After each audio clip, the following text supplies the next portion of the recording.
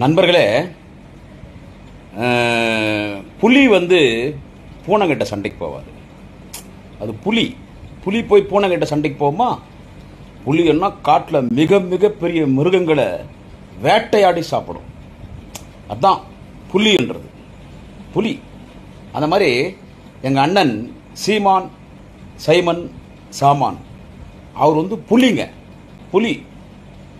ஏன்னா காட்டில் போய் அவர் ஆமக்கறியெல்லாம் சாப்பிட்டு புலிகளோடு பயிற்சி எடுத்தவர். பிரபாகரனுடைய பிள்ளை. அவர் புலிங்க. அவர் பூனை கூட சண்டைக்கு போக மாட்டார். நேற்று சொன்னாரே சரிண்ணே நீ வந்து புலி பூனை கூட சண்டைக்கு போக மாட்ட.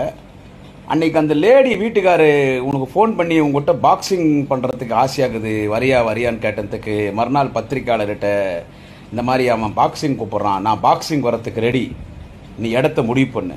ஆனால் வந்தால் உன்னை கொல்லாம விட மாட்டேன் அடிச்சே கொன்று விடுவேன் இடத்த சொல்லு வரேன்னு நீங்கள் சொன்னீங்க புலி. அந்த லேடியும் நேற்று போய் திருவள்ளூரில் போய் இடத்த காமிச்சு இந்த இடத்துக்கு வா காணும் பொங்கலுக்குன்னு கூப்பிட்டுருச்சு.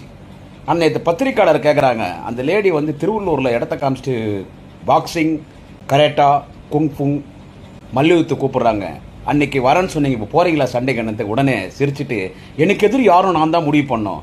நான் வந்து புலி. பூனை கூட சண்டைக்கு போக மாட்டேனுங்களே. அப்போ எந்த வாயில சொன்னீங்க? ஸோ நீங்கள் புலி இல்லை. டுபாகோர் டு